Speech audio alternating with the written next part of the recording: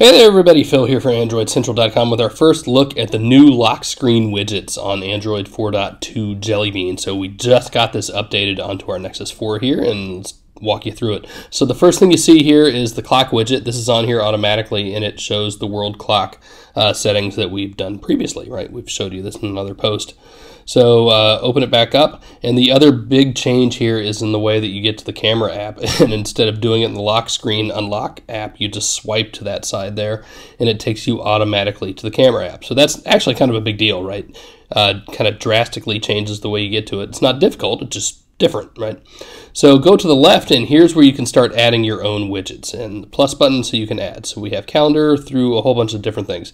Uh, calendar, get out of the way. Calendar, digital clock, Gmail, messaging, and sound search. And those are the only ones here by default, uh, though different uh, app developers will be able to add them later.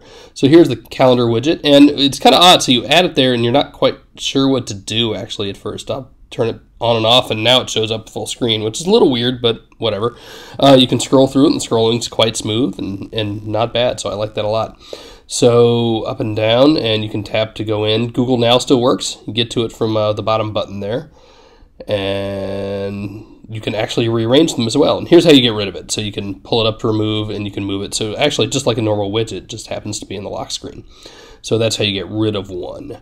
Uh, let's add a new one now. How about we'll do, we've already got the digital clock. How about Gmail? So you have to pick which account you want if you have more than one account.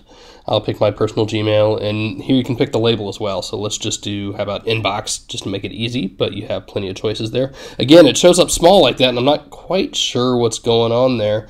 Uh, but see, so watch this, you can pull it down, and nothing's there. It's a little weird. I don't know if that's buggy, if that's the way that's supposed to do it, but uh, you know, power down and power back on, and it shows up just fine, right? And now you can open up an email, and there's your inbox, and you can tap, and it opens things right up the way it's supposed to.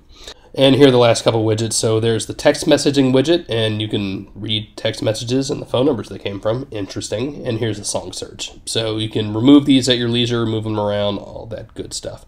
So what if you're using a security code? So this is the big question about this, right? How does it work? Uh, I've put on the little pattern security code here, and you see it pops up right away. If you go to add a new widget, it also asks you for it. So you can't just add a Gmail or text messaging widget without having that code. That's a good thing. You can, however, launch the camera app, which is interesting, but it also means you can do it quickly, and that's good.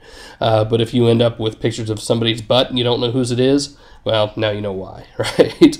but there's the uh, pattern unlock. Same thing kind of goes for the uh, numerical pin unlock and also for passwords, right? So type it in and it will unlock the phone or you also have to type it in to add a widget. That's a good thing. That is good security, right?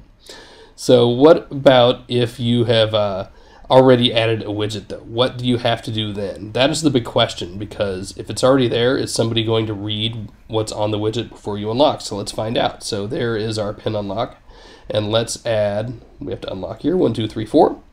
Let's add a widget and say we'll add Gmail because that's kind of the big one for me, right? That's I use email all the time inbox, and so now it's added. So what happens, we'll unlock here and get rid of that. And so let's go back to zero and turn on the phone and let's see and ooh we can read email headers. We can read subject lines and kind of the the first sentence or so and that's interesting and not really good. And same thing goes for text messages right? That's a bit of a security concern so you're going to have to keep that in mind if you're using this and we'll see if other uh, companies do as well. But there's a quick look at the widgets.